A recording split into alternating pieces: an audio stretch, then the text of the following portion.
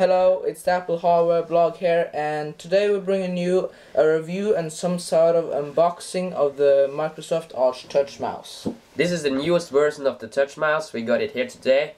We were so excited that we already have unboxed it, but we will show you how it were in the box. Yeah, and here's the unboxing part. We're very anxious to open this, so yeah, and here you see this is off this is on and you just click it. That's a very nice detail on this. And then let's go ahead and get this opened. And here you see it. It's on and off. And here's the USB USB port. Just put it there.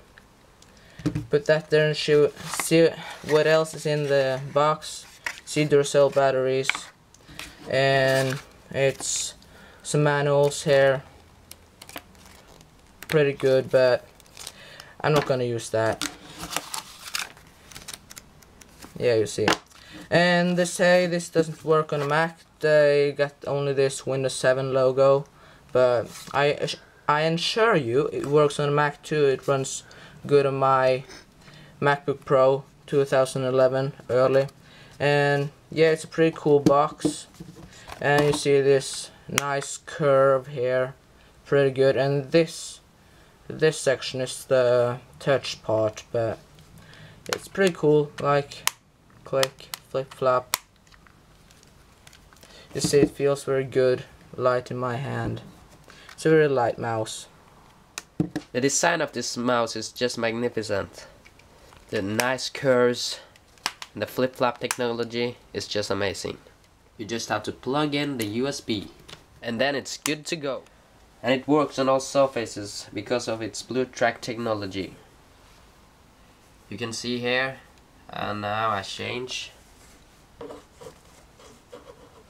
It still works and here and on the body of the Mac. It's just amazing. Most amazing feature is the flip-flop technology Flip-flop, flip, flop, flip, Yeah, but it's always downside in this stuff, you see. I think you can hear this, it's the scrolling. It's very annoying uh, when you're on a library.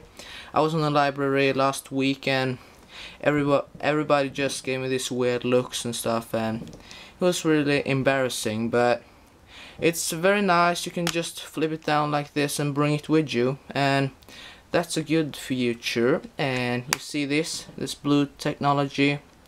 That's one of the most amazing features on this and yeah. And that was the Apple Hardware blog. Uh, please like and favorite this video. Also check out our channel for more videos tutorials reviews and stuff. And yeah we hope to see you another time